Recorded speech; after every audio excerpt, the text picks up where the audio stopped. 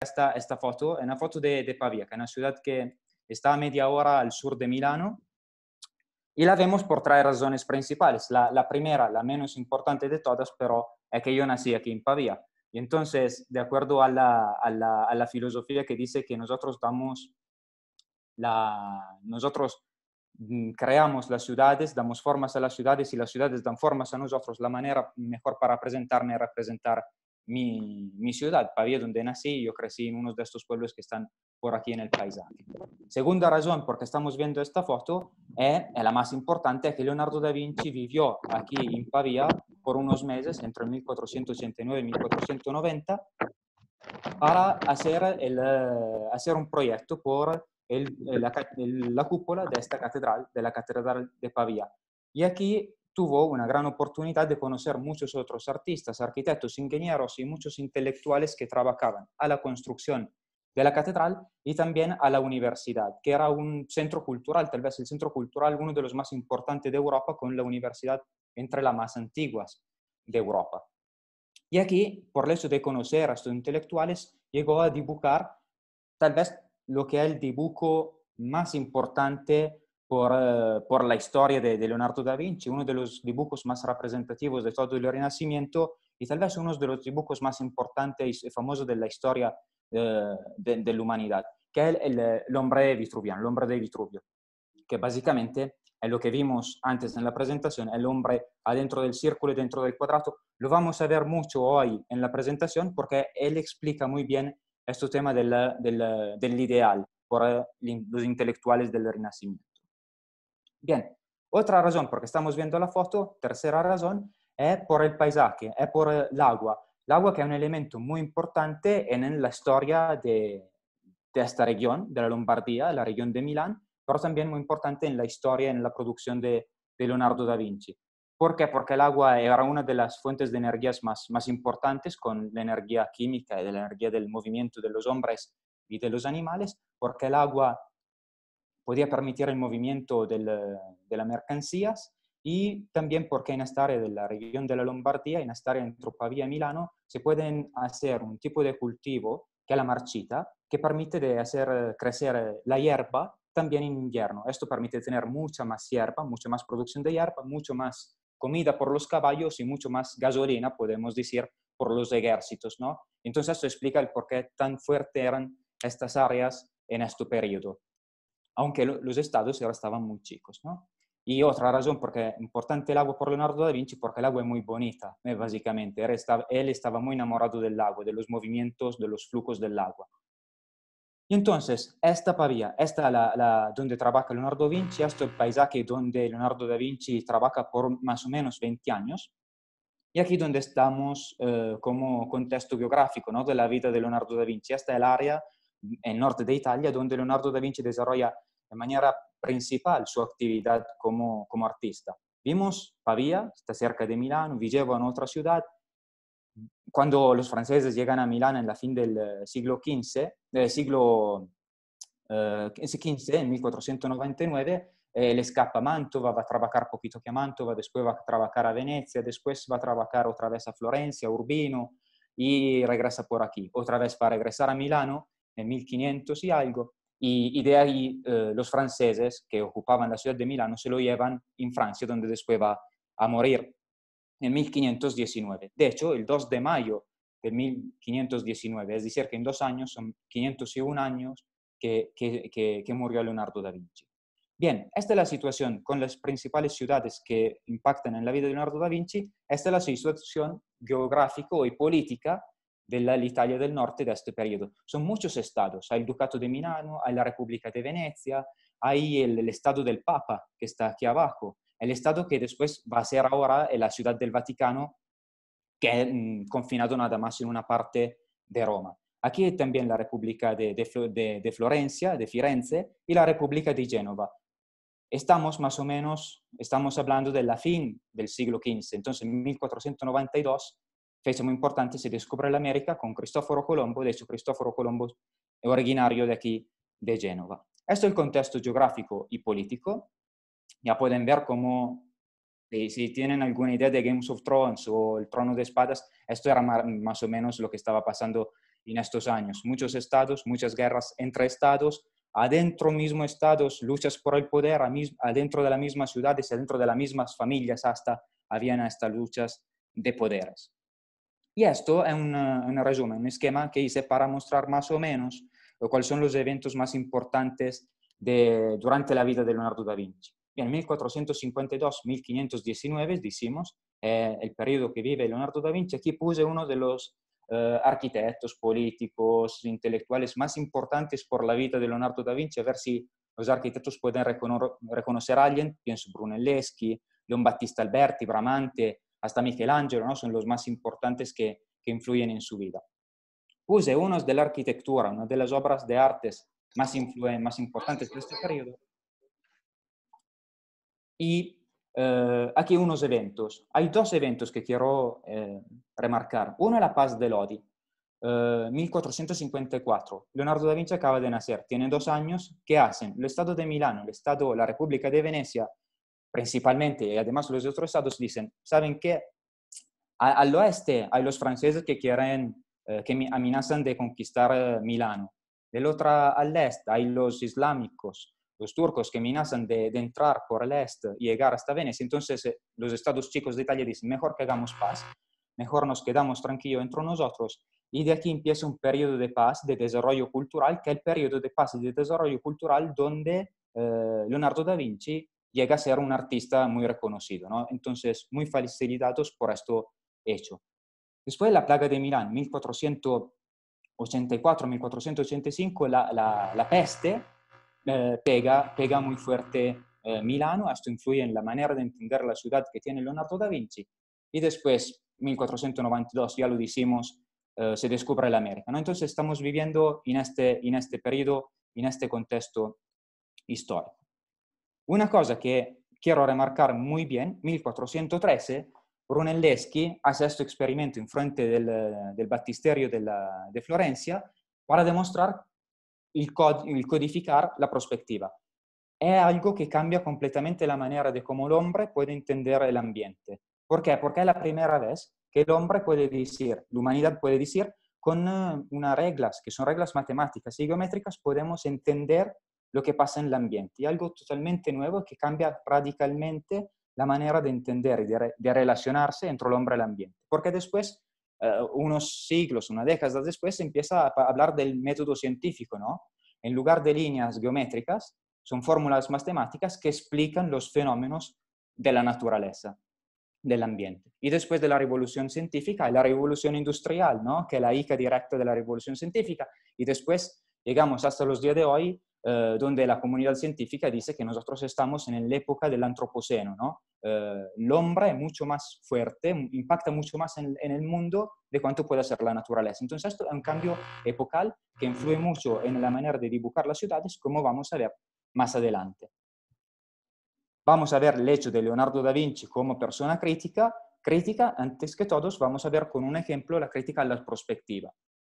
Perspectiva que ya estaba muy, muy codificata, muy usata ya unas, unos años y unas décadas después de 1413. Y vamos a verlo a Milano. A Milano, siamo en 1482, el año que Leonardo da Vinci llega a Milano, los padres que tenían como objetivo de construir una iglesia, la, la iglesia de San Sátiro, que de hecho está muy bonita, una de las iglesias más bonitas de Milano, está a un minuto del Duomo, eh, encargaron a Bramante, muy famoso arquitecto el, el, que representa el renacimiento de la Lombardía, Bramante, le encargan Bramante de hacer esta iglesia y la iglesia la quieren de una forma que es la plaza central o cruz, cruz griega, ¿no? que era la moda del momento, eh, diferente de la planta cruz latina que es otro tipo de planta. Esta cruz griega básicamente, ¿qué tiene? Tiene las dos dimensiones del mismo tamaño y se impactan aquí en el centro. El problema que a Milano era que en esta iglesia esta parte no se podía hacer, nada más por el hecho que aquí atrás había una, una, una calle. Entonces Bramante les dijo a los padres, sí, está muy interesante lo que ustedes van a proponer, pero no podemos hacerla, ¿no? Eh, pero como podemos ver de, de, intentar hacerla, bien, la hagamos así. en lugar de poner los 10 metros de espacios aquí alrededor, Brahman te dice, vamos a usar nada más 60 centímetros y los otros 9 metros y 40 lo hagamos de trampa visual, ¿no? Entonces eh, ya entienden muy bien cómo sirve la perspectiva, que hacen nada más, eh, excavan de unos 60 centímetros más o menos el muro y lo que falta, lo demás, lo ponen con la perspectiva. Esto para decir, la perspectiva es algo que se conoce ya muy bien un 50, 60 años después que fue decodificada. Entonces ella está en la costumbre de todos. ¿Qué hace Leonardo da Vinci? Espíritu crítico, dices, no, para mí quiero mm, ver, quiero experimentarla, quiero, no, no me limito a lo que ya se sabe, vamos a ver mucho más allá.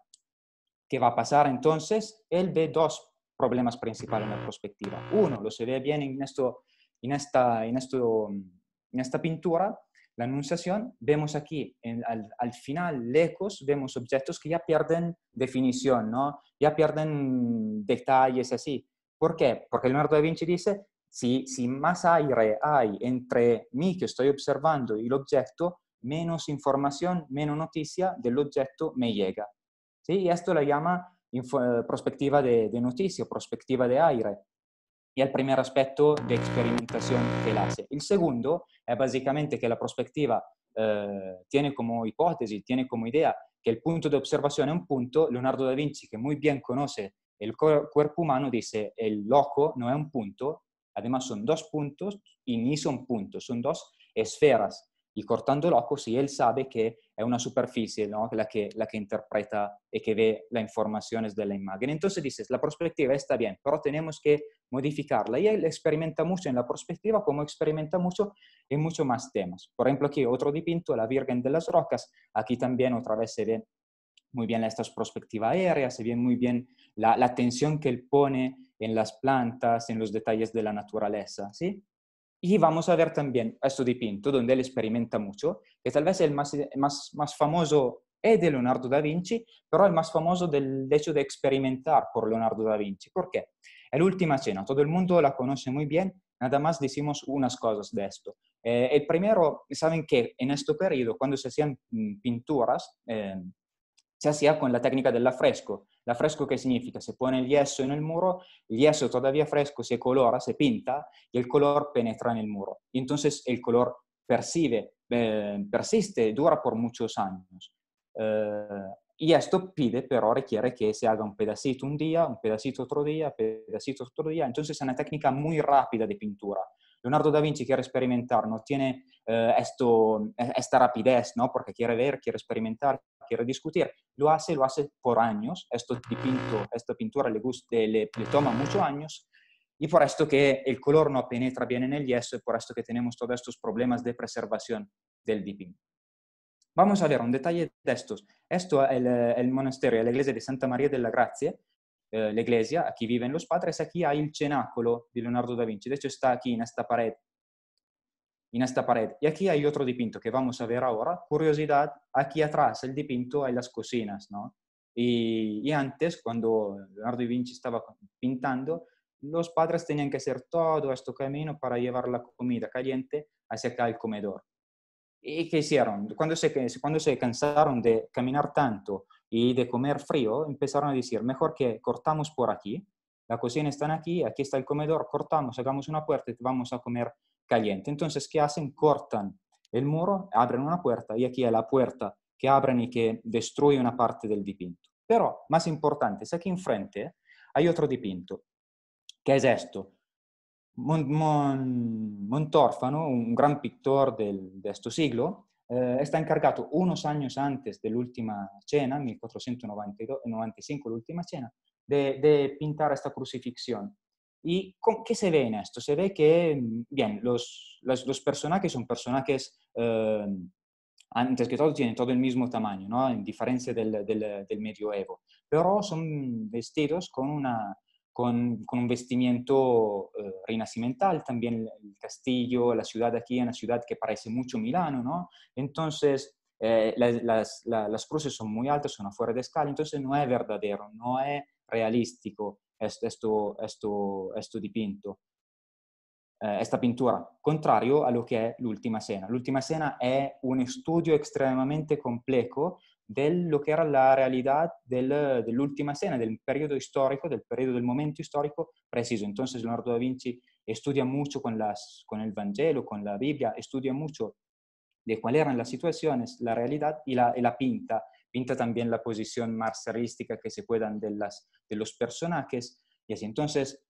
la, la última escena que que mucho se puede hablar sobre esta pintura, lo que, lo que para nosotros es importante es que demuestra muy bien cuánto es el pensamiento crítico de Leonardo da Vinci. Pensamiento crítico en relación, como vimos, con los contemporáneos, que se ve muy bien también en el hecho que él estudia mucho, estudia desde los ríos del, del, área geográfica de la Lombardía, del norte de Italia, pero estudia también en manera muy profundita el cuerpo humano que, es que ve en el cuerpo humano, ve, corta, ve, les, les di que ve los, corta hasta los ojos, eh, pa, para entenderlo, corta, hace autopsias, entiendes los, cómo trabajan las venas, llega a decir que las venas son los ríos del cuerpo humano y los ríos son las venas de, de, de la tierra.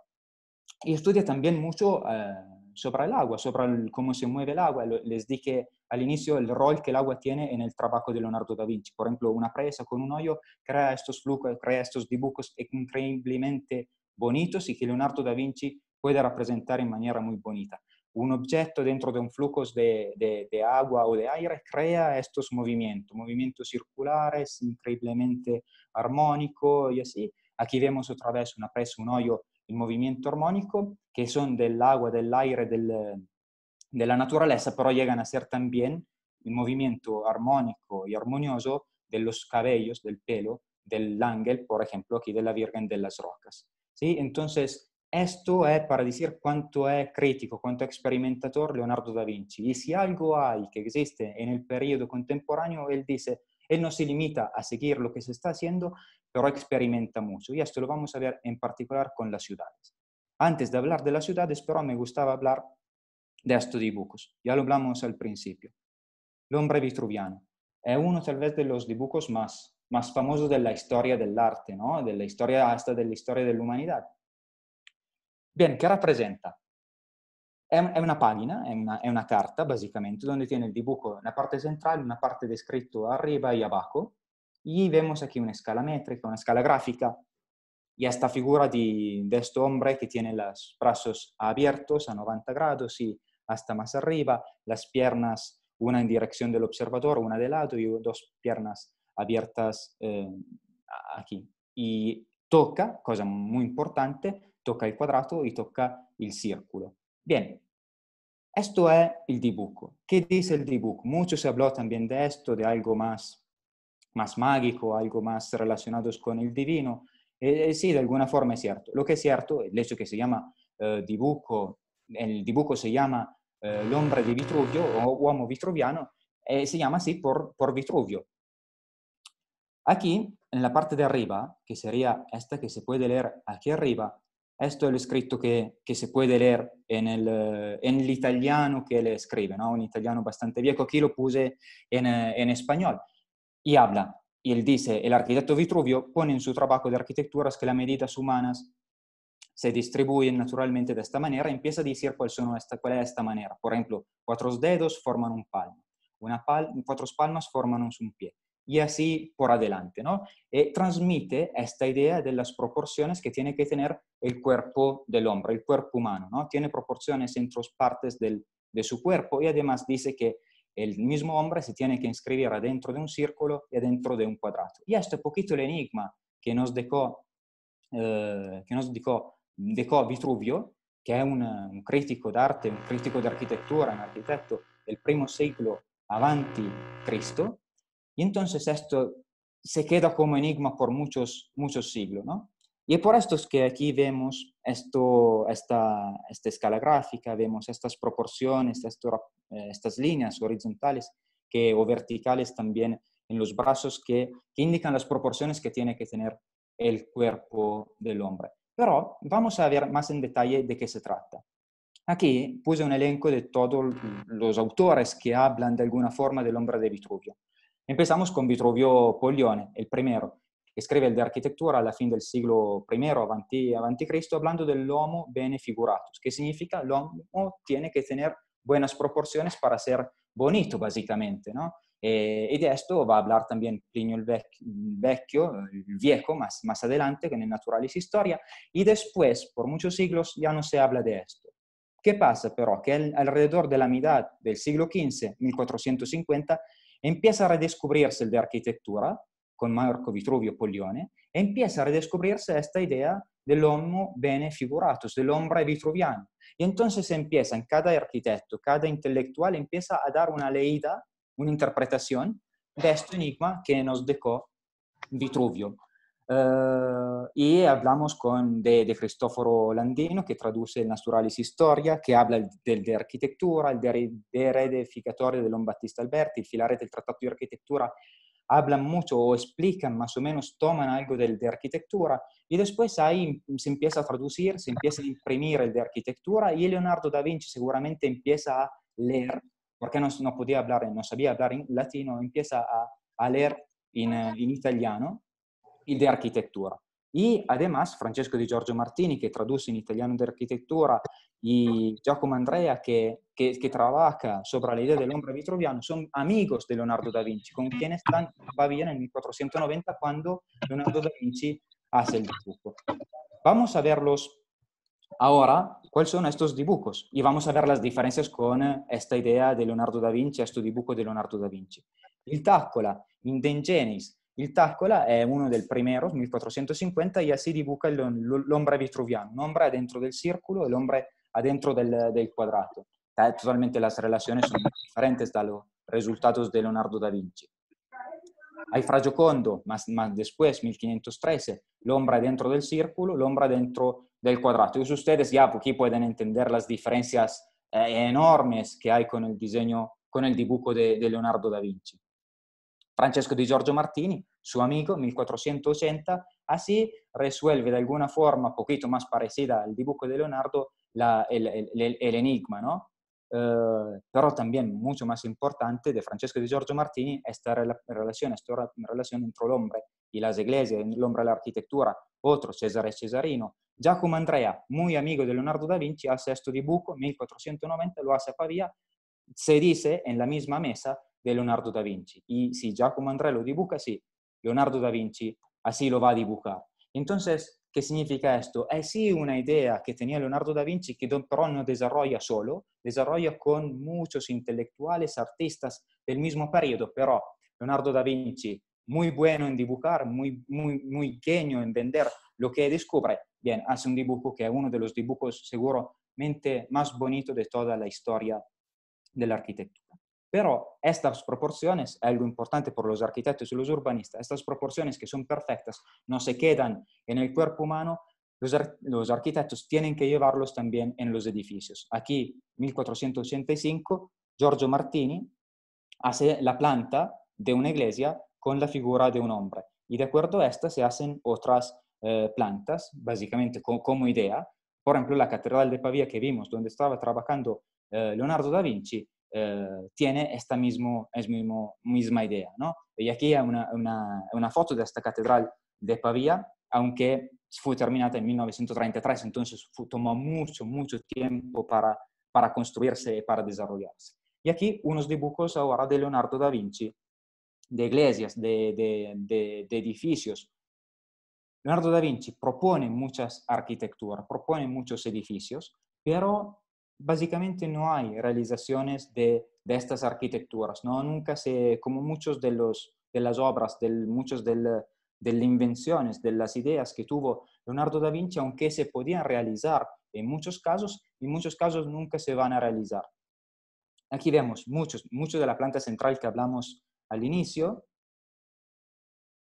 estos son los dibujos. Además, hay unos dibujos también como estos, que son dibujos más técnicos, porque Leonardo da Vinci participa al proyecto, el concurso para dibujar la cúpula del Domo de Milano, no, no gana, eh, pero, por, esto lo manda el, el Duca de Milano a, hacer el proyecto por la cúpula de, de, la Catedral de Pavía. Allá tampoco se va a hacer, pero él es capaz de estudiar también estos temas de la arquitectura técnica. Uh, bien, hasta acá para decir qué. Para decir que hay algo en, en la cultura, en el, en, en el, mundo de los intelectuales, del, del Renacimiento, pero también en del siglo precedente, en el siglo XIII, XIV, eh, de acuerdo a, a, a, esta idea, hay algo de ideal, es algo que conecta estos elementos, desde la naturaleza, Dios, matemática, hombre, edificios y hasta la ciudad, están conectados por algo. Hay algo que conecta estos elementos. Y por ejemplo, ahora vimos con Francesco Di Giorgio o con Leonardo da Vinci cómo la naturaleza representa algo que sea perfecto de Dios. Pero ya esta perfección se puede representar con la matemática, ¿no? Vimos con la perspectiva. Y, esta, y estas relaciones matemáticas, estas proporciones se ven dentro de la representación en la figura del hombre. Y esto, esta proporciones ya la vimos con Francesco Di Giorgio, por ejemplo, eh, ya se, se, ven también en los edificios. ¿no? Entonces hay algo que une todo esto. Y por muchos arquitectos de este periodo, esta, esto ideal, esta idea de perfección que une naturaleza, Dios, matemática, hombre, edificios, llega hasta a la ciudad. Y vamos a ver unos ejemplos de esto. Pero vamos a ver también que Leonardo da Vinci la piensa de manera diferente. Y el hecho de pensarla de manera diferente nos regala un mensaje muy importante por el diseño de las ciudades de, de hoy. Estas son las ciudades ideales que se desarrollan alrededor del periodo de Leonardo da Vinci. Leonardo da Vinci aquí lo puse en 1452-1519, aquí hay muchas ciudades ideales, ne vamos a ver una, y aquí hay unas un poquito más, más adelante. Empezamos pero con una reflexión. Este es un dibujo del 1560 de, de Bruegel, el, el, viejo padre, que representa de alguna forma la vida que hay en la ciudad, la, la percepción del siglo, de la edad del medio de la, de la, ciudad medieval, con muchas personas, con mucha vida, y las personas están al centro de la ciudad. También en este dibujo pone en evidencia, con la construcción de una catedral, cómo es muy importante el tema de las civitas. La civitas es el tema de la comunidad, ¿no? Um, aquí hay un tema muy importante que yo pienso que, que, que se tenga que, que, tenemos que hablar un momentito. El tema de la di diferencia entre cité y ville. Uh, ¿Saben cómo vamos de tiempo? Vamos bastante bien de tiempo.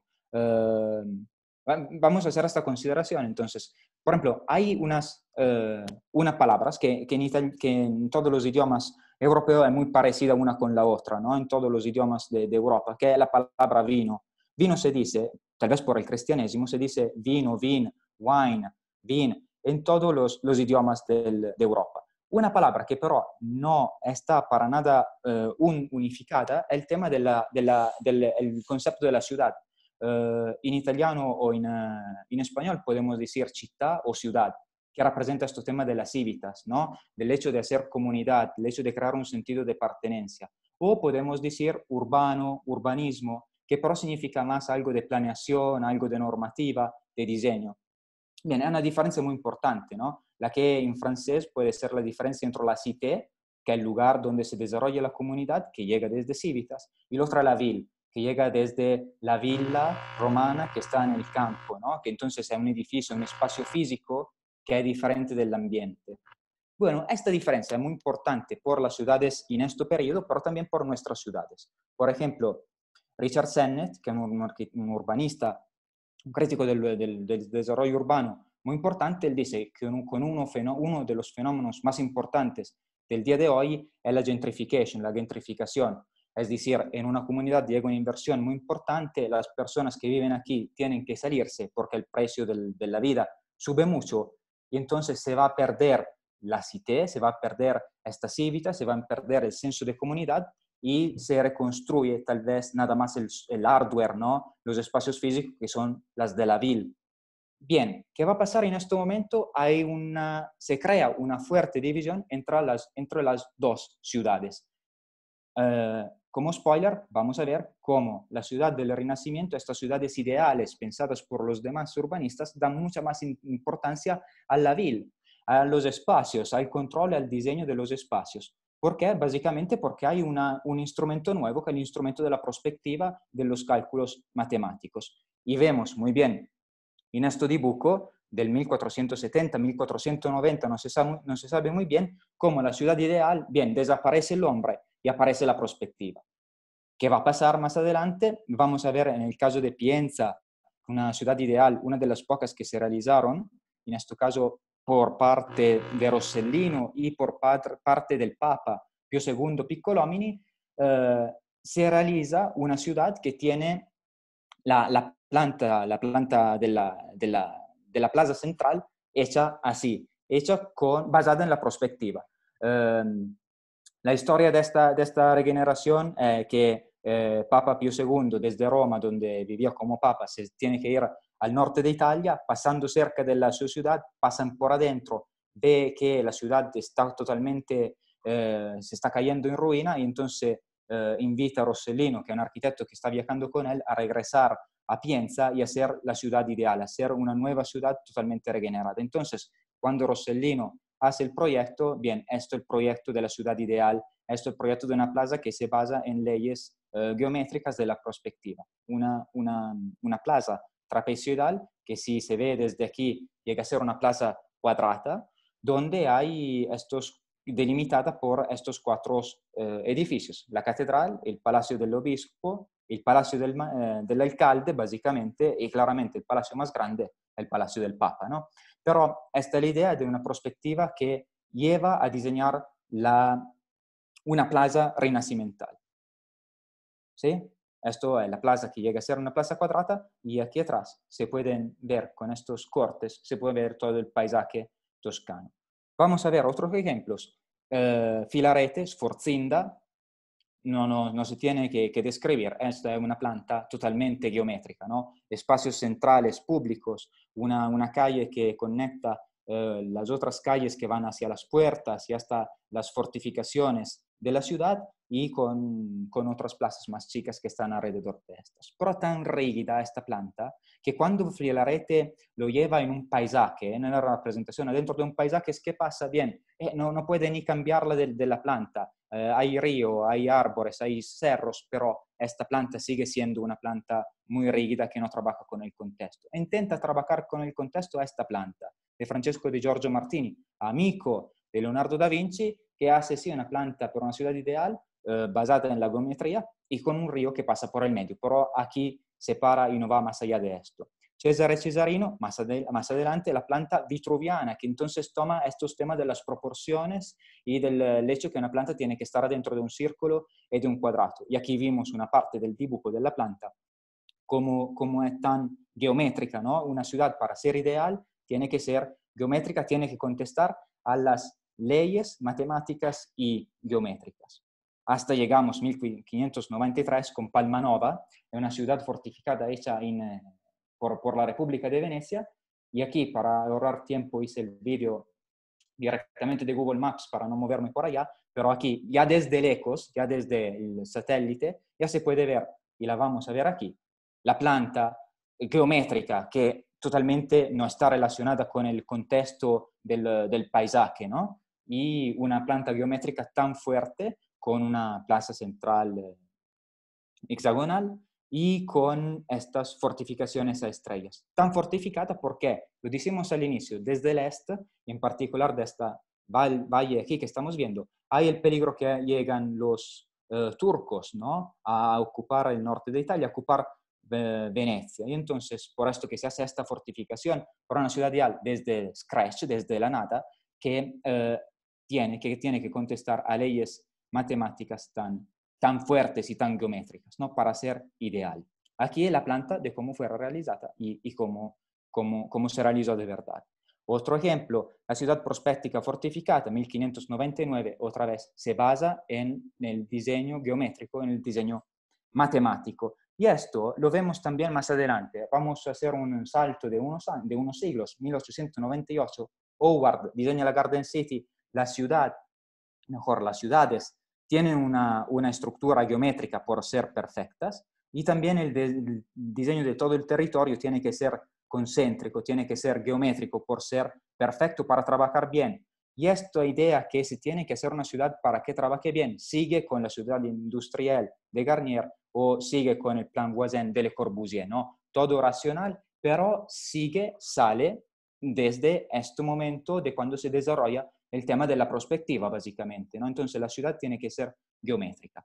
Bien, esto entonces será un, un recap para ver cómo muchos arquitectos en este periodo están trabajando en esta parte, ¿no? la conexión entre, entre naturaleza, Dios, matemática, hombre, edificios, hasta llegar al diseño de las ciudades. Leonardo da Vinci, ¿qué hace? Bien, la piensa de manera diferente. Y esto es una, la maqueta de la ciudad ideal de Leonardo da Vinci. De hecho, él no hace una planta de la ciudad ideal, pero dibuja muchos elementos, muchos edificios, muchas infraestructuras que tienen que estar adentro de una ciudad ideal para ser ideal, pero para ser ideal para el hombre. Y esto es la diferencia muy importante que está poniendo Leonardo da Vinci. Esta es una maqueta, la vamos a ver más adelante, pero antes que hablar de la maqueta, vamos a ver su capacidad como cartógrafo. Eh, la capacidad de Leonardo da Vinci de entender lo que hay alrededor de la ciudad, el contexto de la ciudad, porque va a ser fundamental y muy importante por el diseño de la ciudad misma.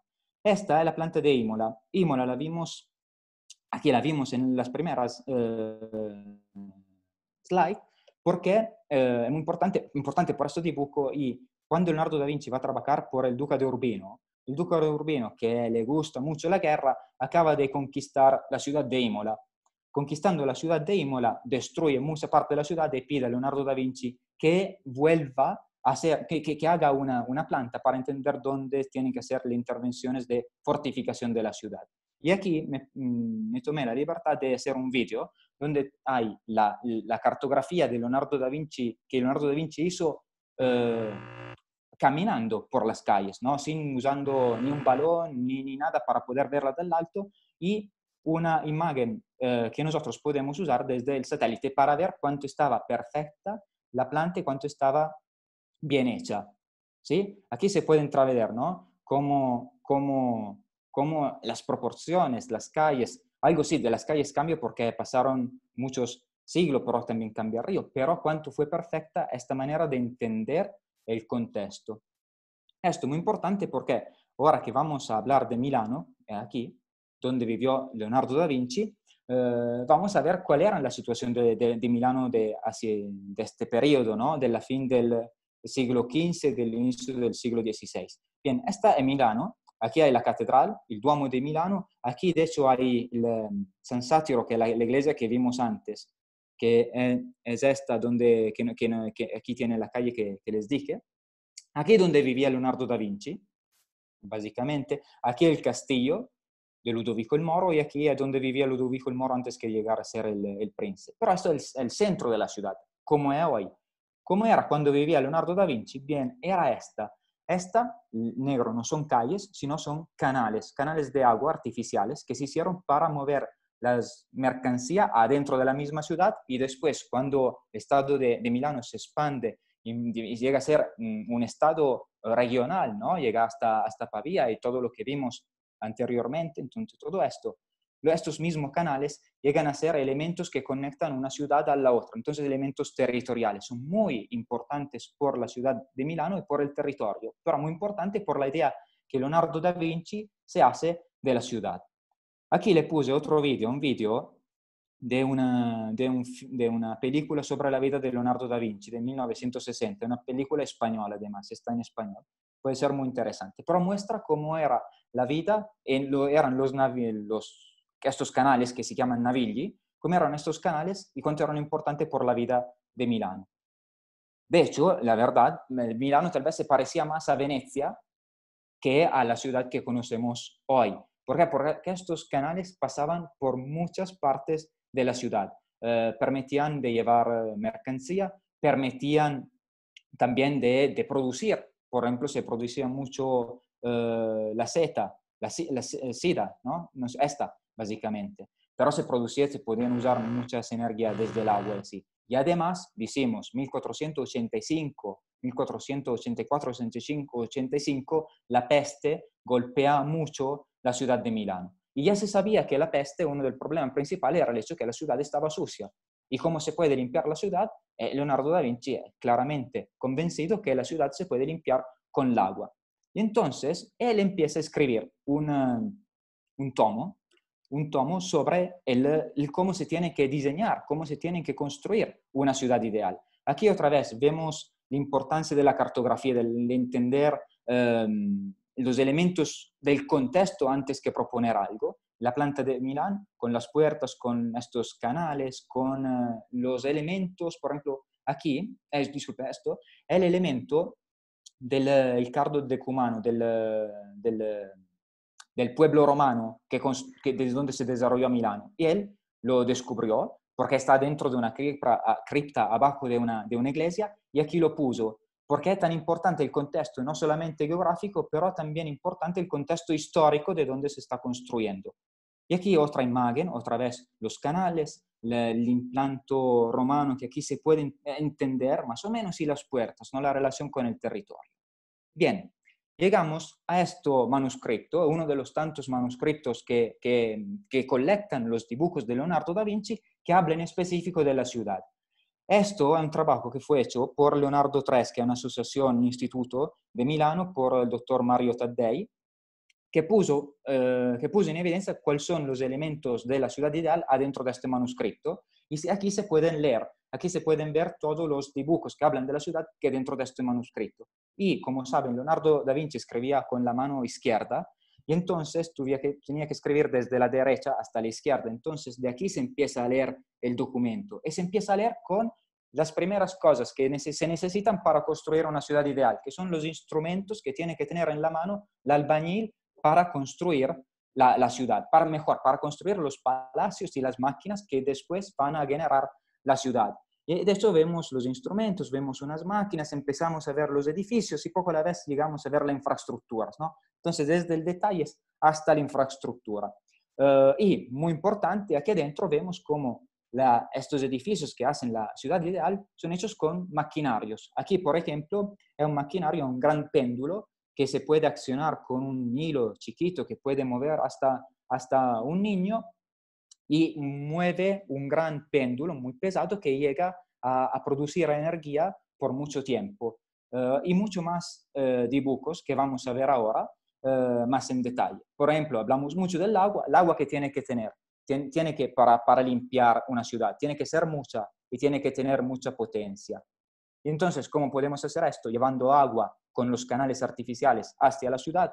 Leonardo da Vinci trabaja mucho en este tema de los canales, pero también llevando llevando el agua con mucha, mucha fuerza. Eh, ¿Qué significa llevando el agua con mucha fuerza? Tenemos que entender cómo subir mucho el agua. El agua aquí tiene mucha energía potencial. Cuando se cae el agua con toda la potencial, tiene la fuerza para limpiar la ciudad. Entonces, hace, diseña máquinas para tener una ciudad ideal, ¿no? Eh, esto es el punto muy importante. O es un dibujo de una, muy parecido a, un, a, una, a, una, estructura, un esqueleto central de una estructura contemporánea con muchas escaleras. Aquí son eh, cuatro escal una escalera por cada lado. ¿Por qué esto? Porque si, si tú estás en el último piso y ves un enemigo que quiere matarte, que entra y, y si puedes entender de qué, qué, qué, escalera él está tomando, tú te sales y te escapas con otras escaleras. ¿no? Entonces, eh, piensa también a estos aspectos más de, más de defensa. Otros aspectos de, para tener una ciudad limpia, aquí el diseño de un, de un establo, de un restablo, de un establo por los caballos. Los caballos tienen que estar en la ciudad por, para moverse, pero los caballos tienen el problema que huelen feo, ¿no? Entonces, ¿cómo se puede resolver esto? Bien, dibujando un edificio mm, eh, especial. la planta de arriba tiene la hierba para, para los caballos, la hierba se tira por dentro de estos canales y cae aquí en la planta baja en la planta baja dentro del muro pasa también, pasa también el agua para dar de tomar a los caballos. Los caballos toman y comen con la cara, con la cabeza por aquí y por aquí atrás hacen lo que tienen que hacer, ¿no? Y entonces el sucio se cae por aquí y cuando los caballos terminan de tomar y de comer, el agua que está dentro de, los, de estos canales se abre, que cae en el piso, limpia el piso y se cae dentro de estos canales que llevan todo el sucio el eco de la ciudad, ¿no? Entonces piensa estos elementos técnicos adentro de los edificios.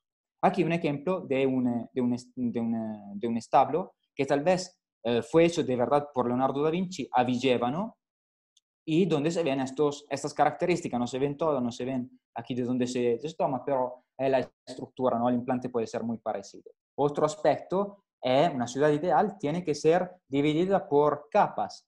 Hay una capas donde se puede vivir de manera muy tranquila, se puede pasear sin el peligro de, que un carro te atropelle, por ejemplo, es una, primera, una primera capa, un primer nivel, un segundo nivel que es el nivel del trabajo, del, comercio, del, donde el movimiento más fuertes, un, nivel más abajo todavía que el resto de los canales del agua que, que permite el transporte del, de las mercancías, de los materiales y también permite a que el sucio se vaya de la ciudad. Entonces, una división por niveles. Aquí se ve muy bien otra vez. Y además compara un hombre, cosa que por todo el, después del, del Renacimiento, en el mismo Renacimiento, la ciudad ideal vimos, ya no tiene nombre, aquí vuelve a comparar un hombre, es una persona que está llevando con, en estos canales de agua eh, un barco con, con, mercancías, ¿sí? para dejar entender de cómo se entiende estos canales. Otra, un edificio, una ciudad, el diseño de la ciudad ideal pasa por los elementos técnicos del diseño de un edificio, aquí un edificio con un techo que se puede usar como espacio público. Eh, la lluvia, limpia la, el techo, cae, limpia las fachadas y limpia también las calles que están inclinadas porque en el medio pasa este canal que baja el agua hasta este canal subterráneo y que lleva el sucio de la ciudad lejos de la misma ciudad. Y esto es un recap, un resumen de estos elementos técnicos, estos edificios, como se lo imaginó Leonardo da Vinci, aquí hecho en maqueta el, alrededor de 1950-1960 eh, a Milano por estos institutos que empezaron a nacer alrededor de la figura de Leonardo da Vinci. entonces, estos son todos los estos elementos, volvemos a decirlo, desde el chiquito, desde los instrumentos del, del, del albañil hasta el dibujo de las estructuras urbanas que, que tienen que estar las infraestructuras. Pero para Leonardo da Vinci, esto es lo importante, pienso el mensaje más importante de todos es esto. Leonardo da Vinci está pensando en la ciudad ideal hecha por los espacios del hombre, ¿sí? totalmente diferente de las ciudades del Renacimiento italiano, el Renacimiento y después todo lo que vimos con la revolución científica industrial y hasta el Antropoceno, las ciudades de hoy que piensan la ciudad con otros estímulos, con otros sistemas que son sistemas matemáticos de normativas y, de, reglas, sin muchas veces pensar a los espacios del hombre, sin muchas veces pensar al contexto, por ejemplo, que vimos en Leonardo da Vinci es fundamental. Entender que si construimos un espacio tiene que trabajar con el contexto geográfico de preexistencia es muy importante. Trabaja también con el tema de la energía. Vimos una ciudad que puede producir energía en una ciudad ideal, y hoy ya vemos que muchas veces el tema de la energía en la ciudad en las ciudades es un tema muy, muy, muy problemático. Y también este tema de la tecnología. Los descubrimientos técnicos y tecnológicos tienen que estar adentro de los edificios para permitir a los edificios de trabajar mejor en función del bienestar del hombre. Y el hombre es el mensaje más importante, el, el elemento más importante que vive en las ciudades de Leonardo da Vinci. Entonces, esto pienso que sea el mensaje más importante que nos podemos tomar eh, desde el trabajo que hizo Leonardo da Vinci en tema de la ciudad ideal. Con esto, para mí, eh, es un mensaje muy importante y aquí acabo. Eh, aquí les dejo mi, correo por si, por si tienen comentarios, si tienen dudas, si tienen preguntas, si quieren decirme que, que perdieron una hora de su tiempo para escucharme o que les gustó. aquí está mi correo y con mucho gusto le, le podemos hablarnos. Ahora no sé si, si, si hay Pablo, si, si hay unas preguntas, si podemos... Sí, muchas gracias, Emanuele. Pues abrimos el espacio para preguntas, este, respuestas y comentarios en general.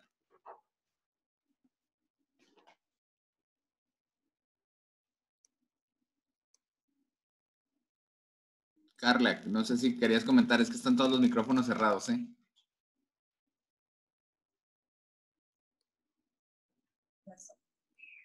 Hola, buenas tardes, doctor, y muchas gracias por su estupenda exposición aquí desde Mérida.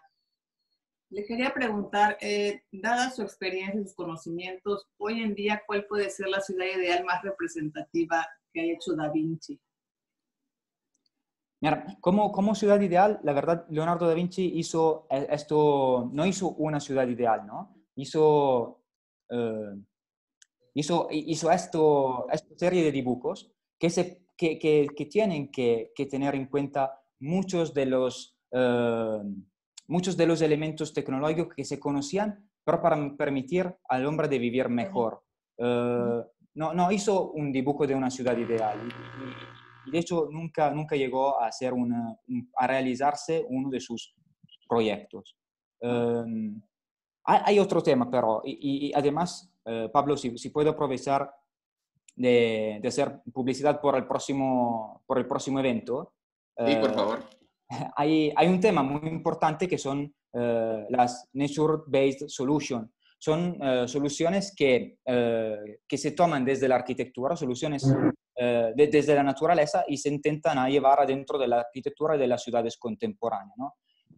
si, si puedo, en, de alguna forma, entender el mensaje de Leonardo da Vinci adentro de una, de una ciudad contemporánea, bien, una ciudad contemporánea que toma esto, esta filosofía o este approach al, al diseño de la ciudad son las ciudades que tienen un diseño de nature-based solution. Usan la técnica, usan la tecnología en función de espacios para, para los hombres, para las comunidades. Gracias.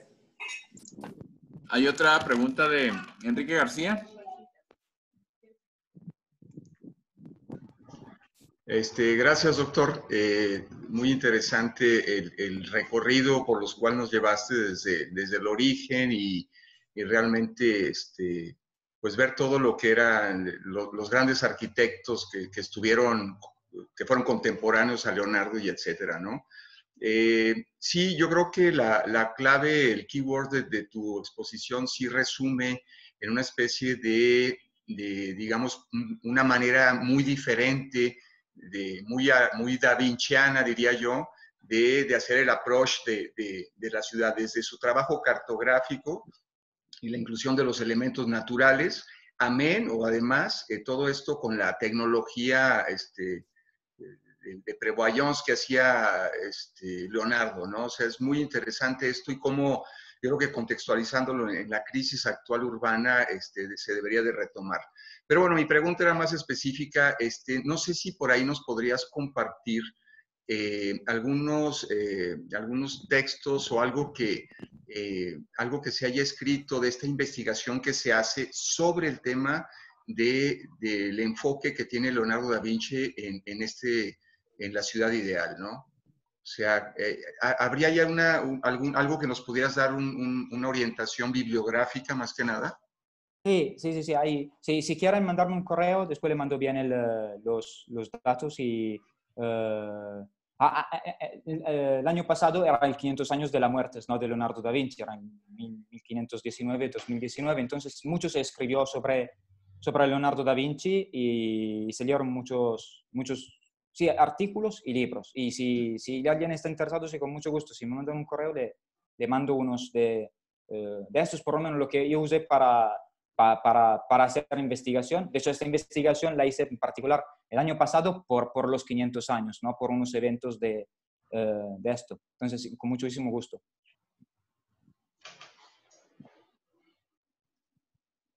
Pablo, una pregunta, porque estoy viendo también ahí en, la, en, ahí en el chat, este, la hoja de registro pide en el correo que sea el número y no acepta el correo electrónico.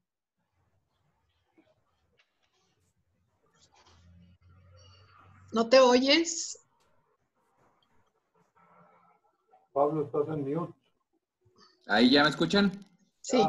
Ah, sí, les está, perdón, les estaba comentando aquí por el chat que, que por alguna razón este, es que hice el, el, Google Drive desde la cuenta del TEC y nada más le permite meterse a los que son del TEC. Entonces lo que voy a hacer es que lo voy a mandar por mi cuenta de Gmail, voy a hacer el formato y se los hago llegar a todos por correo electrónico si les parece. Ok, gracias. Sí. ¿Alguien más? ingeniero. Sí, ingeniero. A mí me hace pensar, ahora, 500 años después, que debemos seguir pensando como pensaron aquellas gentes de aquel entonces, como lo hicieron los españoles en el diseño de, de muchas de las ciudades mexicanas, pensando en la energía, pensando en la tecnología de aquellas épocas, y yo creo que ahora, en el contexto de este nuevo plan de desarrollo urbano de la ciudad de Chihuahua, yo creo que es muy oportuno todo lo que nos ha planteado y este recuerdo de, Leonardo da Vinci, creo que es muy, muy aplicable de acuerdo a las tecnologías de hoy, a las energías de hoy y a lo que, lo, lo que demandará el futuro.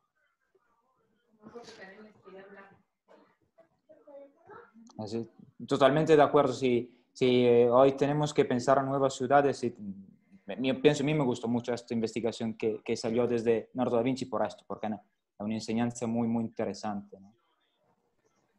¿Cómo crees, Manuel, que ahorita con lo que está pasando con la pandemia y todo pueda cambiar? Eso se, lo, se los he preguntado a, los, a mis alumnos, pero no hemos llegado a un consenso que pueda llegar a cambiar o a cambiar, eh, bueno, el mundo ya cambió, creo yo, pero ¿cómo puede llegar a, influir dentro de la planeación de las ciudades y, nuestra vida social futura esto que está pasando? Esta, esta es una pregunta muy, muy, muy buena, del, muy, interesante y, muy difícil de contestar, la verdad. Eh, como, tecnológico de Monterrey, ahora estamos trabajando como un grupo de investigación sobre el, eh, el, pensar cuáles son los impactos que, esto, que esta contingencia está teniendo, ¿no? Y en particular, nosotros estamos pensando en el tema de la ciudad y están saliendo muchos temas eh, relacionados a, cómo, cómo va a pasar, el, eh, qué, qué, va a pasar con el, el, concepto, ¿no? La, la, idea que tenemos de, de ciudad.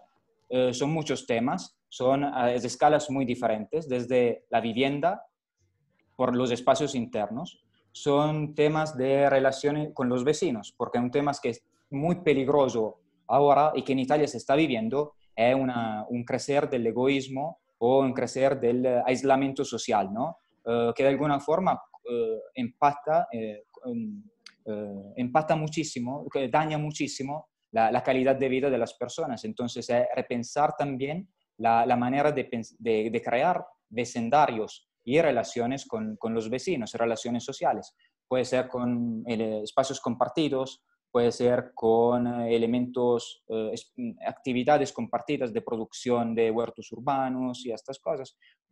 Podemos, pero, y tenemos que, pero también hablar de una escala más, más amplia, la escala de toda la ciudad, de los servicios, de la densidad de los servicios en todas las áreas urbanas, desde las más ricas a las más vulnerables, eh, en particular también el tema del transporte, que se piensa que puede ser muy impactado por, por esta crisis. Entonces, hay un repensar de, eh, muy general, no en todas las escalas urbanas y arquitectónicas.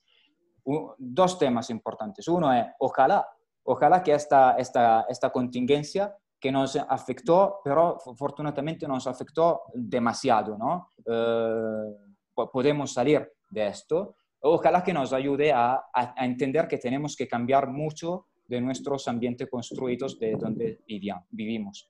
Y otro tema es ojalá que se pueda generar hasta una nueva manera de interpretar la ciudad, una nueva estética de la ciudad, ¿no? Eh, estética que no significa nada más que las cosas sean bonitas o, menos. Estética significa un, sistema que permita de desarrollar un nuevo sistema eh, ético y moral de la sociedad.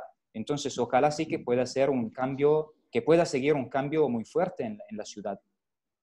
Emanuel, eh, yo pensaría en dos temas que sería muy interesante que, ustedes pudieran trabajar. Uno de ellos es el concepto del barrio.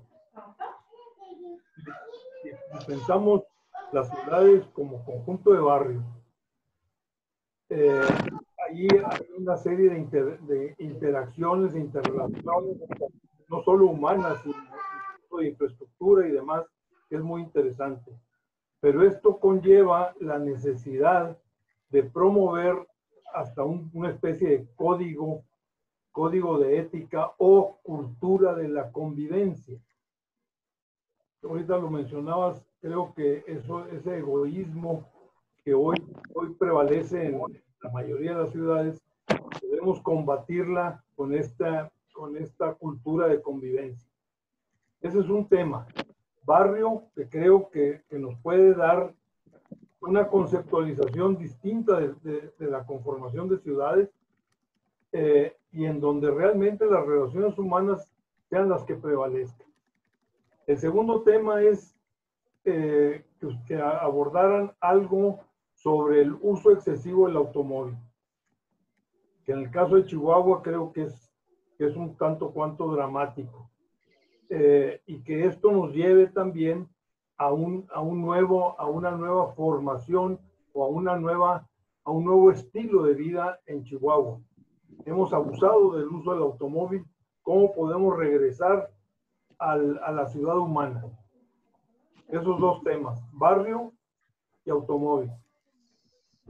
Eh, muy, muy de acuerdo, sí, sí, sí. Y de eso, no sé si, si ya se puede también plantear algo juntos, ¿no? Para tener unas ideas así juntos.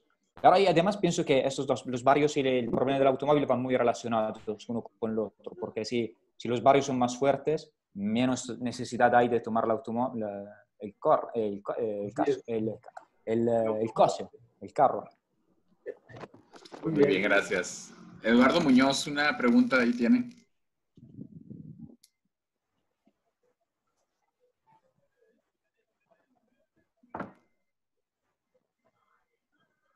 Bueno, yo creo que ya no está Eduardo por aquí. ¿Alguien más? ¿Alguna pregunta? Enrique García, está, apagado el micrófono. Este, Esforcinda eh, y Palmanova, más bien Palmanova. Eh, hace muchos años que no voy a Italia y no, no he visitado Palmanova. Espero que terminando esta, esta pandemia pueda regresar. Eh, ¿Qué hay? ¿Se sigue habitando dentro de la ciudad o es una ciudad museo? ¿Qué es, qué es Palmanova ahora? O sea, esa, esa ciudad, este, pues ya casi mítica, porque creo que en todo el mundo se enseña como la chita ideale este, per se, ¿no? Con su, con su trazado de estrella y demás. ¿Qué hay dentro, este, Manuel? Veo que recorriste por ahí. Eh, hay, hay, dos ciudades que, que, que, se consideran ideales. ¿no? Por, después, por el, por el tiempo, no puse una, que es Avioneta, eh, que es muy, muy, muy interesante. Es tal vez la ciudad más ideal que hay. No representa mucho estos temas que quería transmitir geométrico, pero es la ciudad del Prince, de, de Mantova, ¿no? cerca de Mantova, eh, y allá vale la, pena, vale la pena ir. Además que hay eh, muchos, muchas arquitecturas muy, muy interesantes dentro. En las dos, Sabioneta y, Palmanova, se, se, vive, se está viviendo todavía. la verdad, yo cuando fui a Sabioneta, la, voy, la vi eh, con menos personas, menos vivas de, de, de Palmanova. Pero Palmanova es más grande, la, hay un, pero hay vida, ¿no? Hay, hay dentro se vive muy bien. Y se, se hay este parque todo alrededor, que eran los sistemas de fortificación, ahora es un gran parque. Y hay mucha diferencia, la verdad, de, del fuera, del, del, paisaje, desde el countryside, del, del, campo al dentro. Pero sí, son ciudades que se viven, se, se viven y se viven se viven, ¿sí? con, con, mucha vida. Gracias. Gracias para preguntar porque no, no, no los decimos. Muy bien, muchas gracias.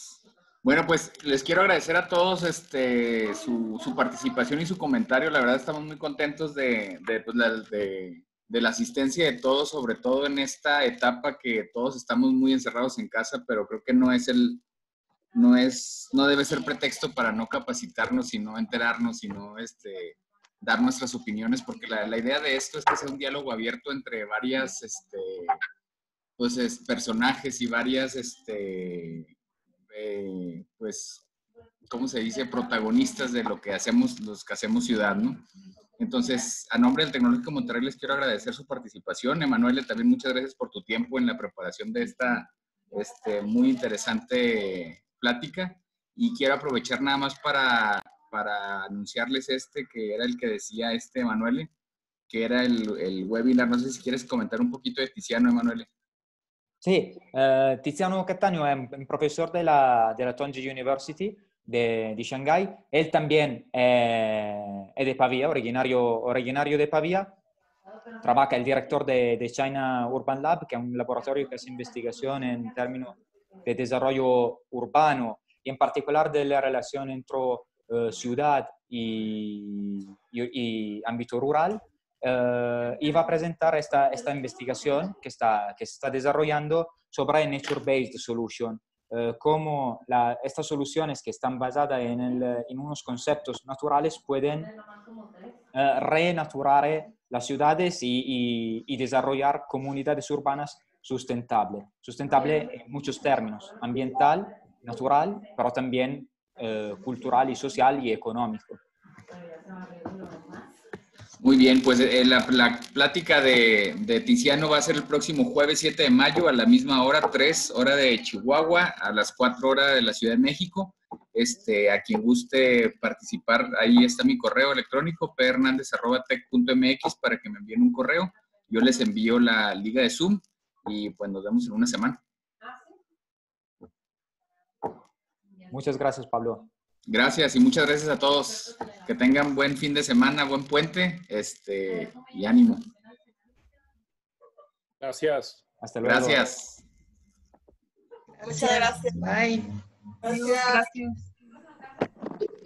Gracias, profesores. Muchas gracias, muchas gracias. Muy padre todo, ¿eh? muy bien, excelente, excelente todo. Ay, qué bueno que les gustó. Oh, sí, muy bien, muy bien, gracias. Y estamos Gracias. pendientes de otras invitaciones. Gracias, arquitecto. Parezco blanco. Y lo dije, pero industriales, que no de vivienda, esos son los buenos.